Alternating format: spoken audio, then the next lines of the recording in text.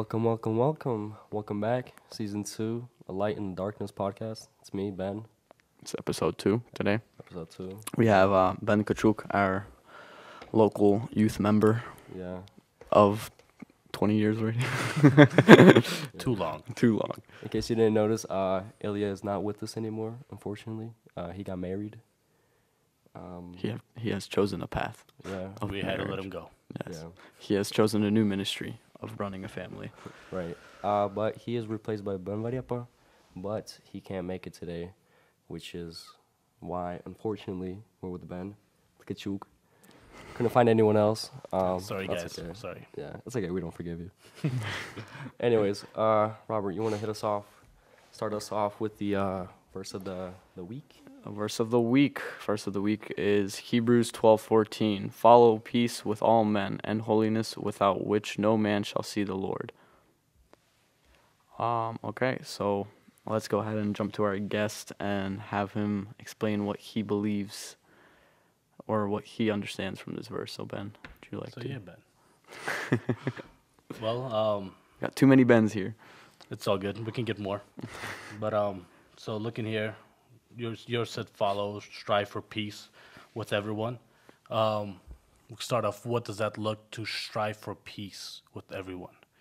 Um, and it's I believe striving for peace with everyone isn't where you're just you know just bending over for everybody for everything is just searching ways to find common grounds where you need to if you have um, i guess if you're not seeing eye to eye with somebody still being able to handle the situation in a peaceful way but um, as a christian should as you know you look at apostle paul you know he had a lot of contentions with people around him because of his faith but he always did it in peace and just preached the gospel so in the same way, you know, we are to continue living our life in that aspect, in that, in that, in the same way. And um, it says, and for the holiness without which no one will see the Lord. Which I think so. That's a very good point we could begin from. Is what is holiness? Because without this holiness, we will not see the Lord. And you know that is our hope. You know to see the Lord at the end. That is part of salvation. That you know that you know we're given. So, but without this holiness, we will not. So, what do you guys think? What is holiness? First of all, what is holy? Yeah.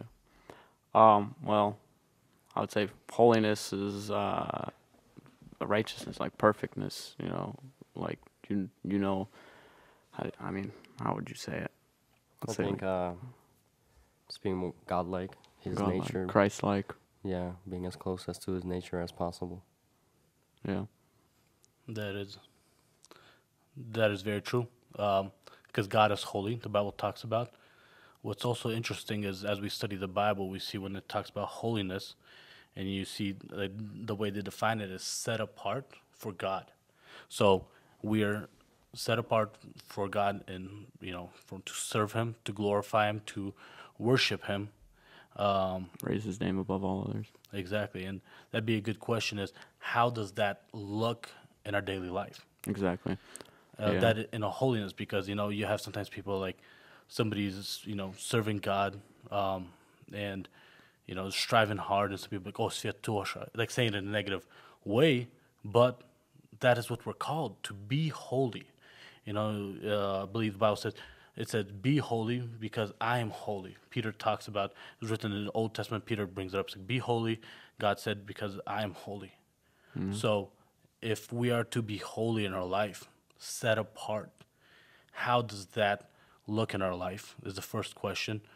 What do we see co- o- often right now that um, kind of, you know, messes that all up? Because I believe right now we have issues where the world very easily enters the church Yeah. where we accept it, we become kind of used to what we see around us and let it become natural and we start accepting it. So um, I'll ask you guys, what do you guys believe holiness looks like in our life, daily, daily life? Well, I mean, your ordinary church goer would say uh, reading the Bible and praying every morning and every day, Mm-hmm. Uh, um, which you can do that all all you want, but I don't think that will be what will show your holiness if you don't truly do it from your heart. So I would say, well, starting off with, um, you find find holiness you'd find through um, what's his name, doing uh, serving the Lord, do, uh, doing everything you do in life, uh, to serve God and put Him f- uh, first through everything, uh, and given, like, for example, like you might buy yourself a house or something, you know. A lot of people would say like, "Oh, I want that house for myself," you know, to show how good, like, how much money I have or whatever, you know. But what you could use that house for is to start your family. You know, you can uh, supply a shelter for your family, and through that family, you can uh, build. Um, uh, you can raise kids that will uh, serve the Lord with you, you know, and do everything for uh, for God and for His glory, you know. Same thing goes with like um, any ministry you do in your uh, life. Is many people can do a ministry for so long, and it'll get to the point where they're doing it repetitively, and what's keeping them up on their feet is just um, like how do you say it? What's keeping up on their feet is people supporting them, and them they're getting the support, and people are looking at them to saying like, "Oh wow, you you did this, you you're so good," you know, like. Uh, God bless you. You know, you're doing you're, that. You're doing this. You, you, you, you, and they uh, that to the point where they themselves get brainwashed and they forget what they're doing it for. So I'd say like holiness is doing doing everything for the Lord truly from the bottom of your heart and bringing Him above, putting Him first above everything else. Yeah, I, re- I really think so. You, you got that really accurate.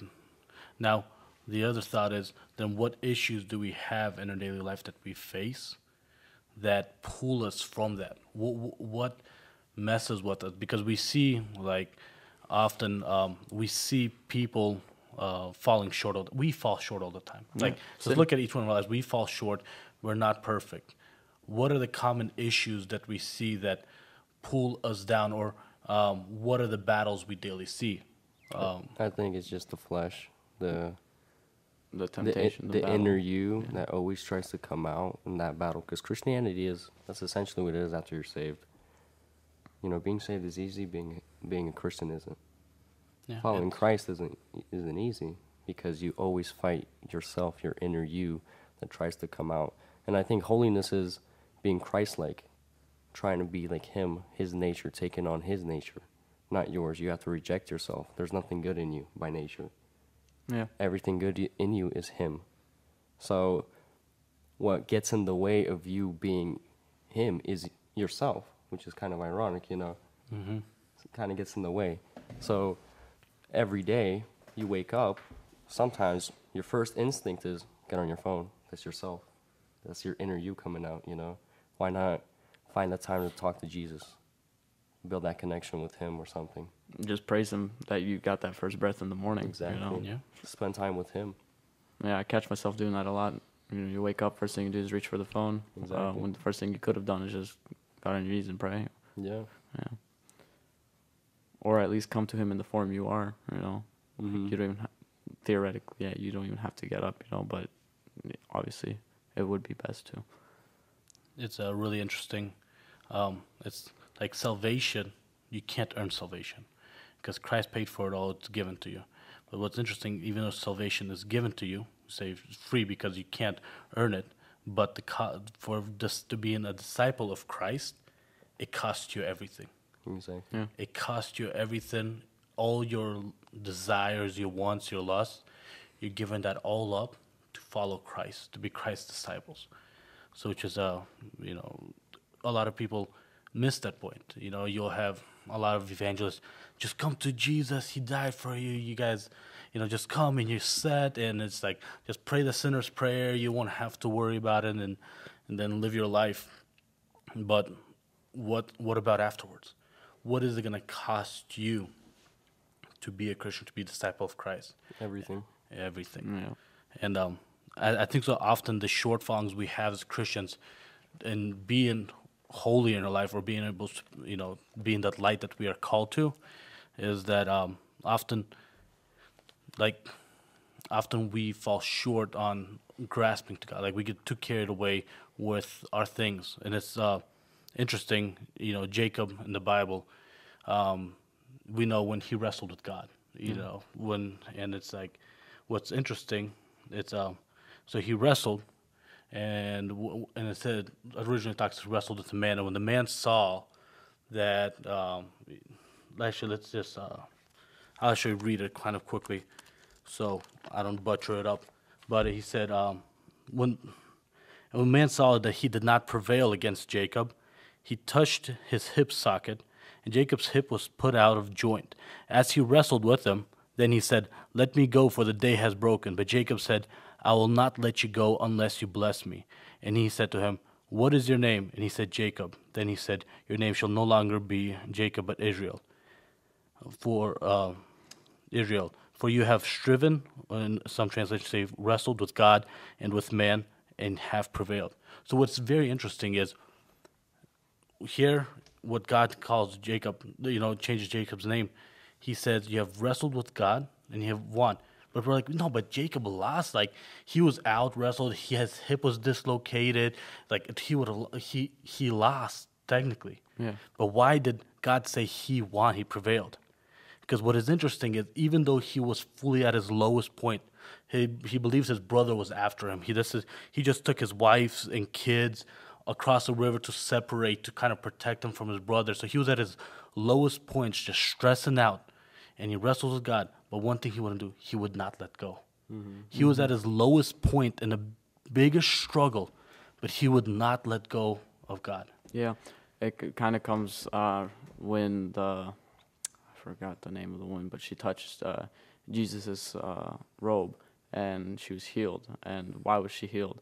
Because she believed and she had faith. You know, at the end of the day, it's like the amount of faith you have and the, the amount you're going willing to go through to uh, get to the end. You know, it's like as Jacob fought and didn't, um, you know, Wouldn't let go. wouldn't let go. Same with her. Like you can look at it. What I'm trying to say is like you can look, uh, put the same lesson into faith. You know, put uh, push like go all the way and push your full force uh, through faith. And yeah, and that's what our I think the often the reason we fall short in holiness is do we battle this hard to stay close to Christ, to show Him in our life, you know, and when we're at our lowest point, do we hold on and call out to Christ? And you like you look at uh, Apostle uh, Paul, and like I love reading about Apostle Paul and what he writes because like he'll point out he, he was like um, he'd say where I'm weak, he is made strong. Yeah. He'd be pointing out like that it's not in those strength parts and strengths that he was uh, proud of. It's like we have this issue where like we try to go we like we need to serve where our strengths are and everything. But it's interesting with with Paul, he didn't really care much about the strengths because he was so focused, so dedicated to live this holy life that showed God that he was proud of the moments when he was weak, where God had to uh, uh, step in and act on his behalf because God was more seen, and he was so uh, proud of those moments. And it's like the total opposite of our like of our nature right now, the way we look at ourselves and like you know about you know our best, being able to show our best. But I think that shows the lack, of you know, the lack of faith and the lack of um, you know, even that holiness being set apart, the lack of it in our life. You know, how truly are we set apart? Because we tie ourselves to this world where we live off our strengths and everything. But in ministry, if, if God's with you, you know, if God works in your life, if Christ is in you, how can a God that created the heavens and earth, you know, everything around, like you look at um, the, what's that, Webb Webb telescope? Uh, James Webb. yeah, James Webb Telescope. You look at the images coming in, and they're just mind blowing of the galaxies out mm-hmm. there. That's the new. That's the new Hubble, right? Yeah, it's Yeah. like a Hubble on steroids, Oh, okay. and it's just amazing. And then like you'll see some images comparing to size of the Earth compared to everything else around us. Yeah. We are nothing, you know. We are nothing, you know. But then this God that can create all of this, you know, He comes into our life, you know, and He works in us, and like we still get selfish and try to go do our own things. We, you know, it really shows how little we know of God. Yeah. Yeah. To add on to that, like to put into perspective, like you're talking about James Webb and the images coming in and just how tiny we are. And to think that a God that created all of that, the whole universe, came down to this earth and then he died for you. And he didn't just die in a simple death, you know. He was tortured, brutalized, died in agony. And that's just the physical side. And then took up on himself all of God's wrath. Not just a little bit, but all of the wrath. And then that should have been you. Yeah, and then it's like it makes you think like who, Why? Who do you think you are when you Not even through that. Then the question is like, why? Why do you do that? Well, yeah, no, And then the, the, mean- the answer is so simple, yet it's so complicated because the answer is because he loved. yeah, You know, it seems simple, but then it's so complicated because we'll never fully understand that love. How much do you have to love us? Mm-hmm. You know, to get just specks of dust yeah, to, to go through all of that to save us. yeah. But then it's it's amazing because it sets a it sets a path for us. You know, you look at what he did, and then he uh, it was stated to be Christ-like, to be righteous. So uh, he did everything. So we have an example to go off of. You know, um, I feel like back when they had to sacrifice lambs, um, you know, like you, it was they just they went off by the laws of Moses or the laws of uh, uh, well, like all the laws that they had at that time. That's what they had to live off of. But for us, it's as simple as be Christ-like because of what he did and how he lived. We it's uh, easier for us to look at. I mean, yeah, we still have the Ten Commandments to go by, but uh, being Christ-like falls under those as well. You know, so that's one thing is like God's plan is so amazing, and it's it blazes the way. Uh, as as long, all we have to do is have faith and um, have true faith, and uh, stay on that path. And we will, going back to what we were talking about, we will go through trials. And without trials, if you're not going through trials, then you're doing something wrong, you know. Or if you've never been through trials, then I you'd, you'd be doing something wrong, you know. Um, but yeah. But you brought up a real good point that the reason we struggle is because we don't fully understand the sacrifice that Christ did for us. Exactly. Now, if we understand it better, we love Christ more because we understand better. The question is, how do we understand it better? How do we value it? What is the process in our life, the this process of sanctification, where we're able to grow um, and be able to grow in this understanding Christ's sacrifice for us? to to me, every time I catch myself slipping or just falling or whatever it is, I always, I always, I always go back to the cross. I just, this is what I picture, just me personally. Every time I, you know, I'm going through trials or whatever, I'm, just standing there at the cross, looking up at Jesus. He's hanging there, covered in blood, like completely. He's torn apart, but he's looking dead at me, and he said, or he says to me, I'm hanging here not because you deserve it, not because you did anything, not because you can do anything, but because I love you so much that I want to gift you this salvation. And so every time I look up and I'm like, you, yeah, thank you. I don't deserve it. I accept your salvation. And then to me, it's just like, I need to get together. Because of that, I, I need to build that connection with him, that bond, build that relationship. That's a very, very solid point. Being able to check and you know be able to look up at the cross and actually trying to envision and understand it. I um, I, I like um, Carl Jung, a Swiss psychiatrist, probably considered one of the best psychiatrists. He said the modern man doesn't see God because he doesn't look low enough, and natural naturally would be like, well, what do you mean? When you look up at God, you look up at God. What do you mean he, he you know if he doesn't look low enough? But it was interesting.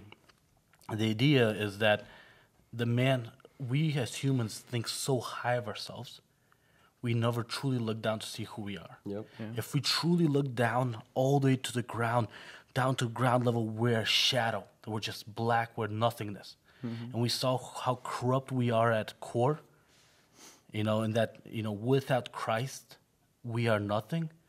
It becomes so much easier to value Christ's sacrifice. because we have this tendency, like we're talking about Paul, how Paul was so focused about his weaknesses in that where he was proud, most proud of, is because he saw himself as nothing, and then everything else. He, then at that point, God was everything. Yeah, all him, not you. Yeah. There's, there's nothing in you. And Yeah. Good point. Like when when you crumble and crush yourself to that point where you look and you see that there's no good in you. Zero. Zero percent good. And the only thing good in you is him.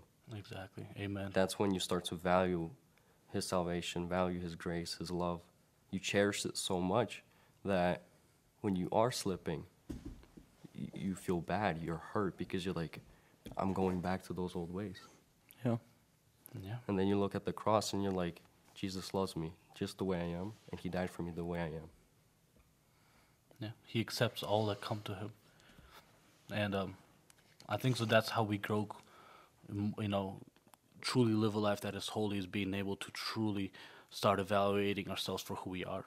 Just hum- humans have this n- tendency where we're just um, we're so we're so fast on lying to ourselves about all that because we just desire to be um, you know we desire to look better. We want to look better for everybody else, and it's just like this this whole like we see in modern society this whole postmodernistic idea where it's like you know objective truth. It's like what you feel is true which is it's not you know the bible says the truth shall set you free. And when it said the truth it's not a truth or the truth the truth. There's only one truth and it's christ. Yeah. and he holds it. And that's the truth that will set you free. And like we uh, even as christians struggle often is we're afraid to truly look at what the truth is because we know how it will condemn us like it- and show us just show us for who we are. We're just afraid to look at it and we'll lie to ourselves. We'll hide it. We'll postpone it oh later something like that. I'm too busy right now. We'll find every excuse not to face ourselves for who we are.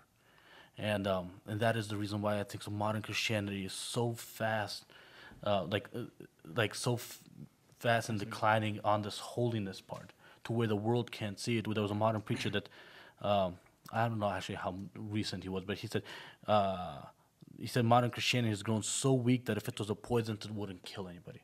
Yeah. And so, like, at that point, that's so true because you look, you'll meet Christians out in public and you can't tell a difference anymore. In character and dress, everything, they just look like everybody else. Yeah. Um, that kind of goes back to what we uh, read for the verse of the day. You know, like working. Uh, I'll just remind us: uh, working at the, uh, at living in peace with everyone, and work at living a holy life. For those who are not holy will not see the Lord. Um, you know, like if we're going out into this world, and we're, for example, like we can. Uh, we'll talk like how we talk to people, you know, like throw slander and throw bad words and like, uh, it, and we're Christian. We say we're a Christian. Uh, how holy does that make us look, you know? And a non-holy person is gonna look at us and uh, be like, "Oh, is that that's how Christians are?" Uh, well, uh, then I'm a Christian too. Or they'll be like, "Oh, well, I don't want to be a Christian because they don't seem much different than I am," you know? And it's kind of like, definitely goes back to what we read at the beginning, like, gotta. I think that's kind of summarizes up. It's you know, um, to the whole the whole summary for that is truly seeing yourself for who you are, um, so you could value the blood of Christ better, Yeah. and at that point you could live a more holy life because it says those not holy will not see God, and I think so. That's where it started. I think that's a lesson for, you know, for myself, for all of us, and all the viewers is start being honest with yourself and your shortcomings. Stop trying to hide because you're afraid that other people going to judge. Find close people around you to be able to talk to. You know, the Bible says, «Исповедуйтесь перед друг другом». You know, there's a reason why it says about opening up before one another. Because trying to battle sin in your life by yourself, you're not going to get anywhere. And, um, you know, w- you know, talking to other people in the youth, you just hear stories of them just battling and battling. I'm just gonna try harder. I'm just gonna try harder. Throw this game plan together. And they just keep falling to the same sin. Yeah, You're not gonna be able to do it by yourself. You're not because you again you're just relying on your own strength. It's like the opposite of what Paul was talking. You, you're just putting sh- faith in yourself to try to overcome it because you see God doesn't like it. So you're coming from the right, you come in with the right heart that you don't want to disappoint God. Yeah. So you, you like I can't blame anybody that's fighting it in that way in the aspect that they don't want to disappoint God, but they're missing the point where um, they're they're so focused on trying to do it with their own strength. But if they truly try to get to know Christ better, spend all you know, see themselves for who they are, and just grow closer, closer to Christ. Because the closer you grow to Christ, the more you see yourself for who you are, and the nastier all the stuff becomes. Yeah. That's that's that's exactly my story. The sins that I've struggled and kept falling over and over again, and I kept fighting, trying to find ways, putting in plans. The the wins only started coming when I started getting to know Christ better. Mm. When I got to know Christ better and started seeing that it's what is sacrifice, and like we said, that we are nothing without Christ. We do, we we deserve death and destructions. Like the song of "Amazing Grace" says, we're wretches. That's all. That's what we are, Mm-hmm. and it's just it's all Christ. And at that point, when you see that, and you you you know you you fall in love with Christ, and then the sins become nasty. That's true. Like- That's what I was actually just about to say. To add on to that, when you see yourself for who you actually are, you start start to love Jesus so much more. And when you grow in that love with Him, you look back at your old ways, your old sins, and because you love Jesus so much, those sins disgust you. Because you know if you fall back into that state again, you know that you're hurting Him. And since you love Him and you cherish Him that much, you're afraid. You're Yeah. afraid to sin. You're afraid to go back to those ways. Yeah. So, which is why you're not going to go purposely out there in the world and sin. Of course, we sin. We're going to Yeah. sin every day. I can't even count how many times I've sinned today. Mm-hmm. But I know God or Jesus forgave. He died for all my sins, past, present, future. And with that being said, you know, you, you, I still love him, and he still loves me, just the way I am. But yeah, good point. Very good point. Yeah. I feel like it goes back to like what we were saying earlier, like you're standing there looking at the cross at Jesus, you know. And like I was saying, um just there you trying to battle your own sins or you thinking you can do it yourself is disrespectful. Uh, like that's how I would see it. Cause like, who do you think you are with the power that, uh, like, what power do you think you have that you can beat this uh, thing by yourself, this sin by yourself? You know, you sh- you should be trusting Christ in it. You know, uh, after especially after what He did. Um, so like, it's definitely a big thing that that I would, I would uh, touch on personally. But yeah. I mean, Well, I I, think think they'll summarize it. We kind of summarize it up. Just Yeah. See a yourself for who you second are. episode. yeah, I'd say that's a good second episode. Very good summary. Yeah. And from there, uh, oh yeah, don't forget Congress. Congress, yes. Congress is coming up. Uh, for our sign lo- up. yeah, Everyone sign up. our local youth, um, youth across America. Uh, this we're having a Congress March 9th in Tyler, Texas. Um, you can visit their uh, page. I, I forgot their page.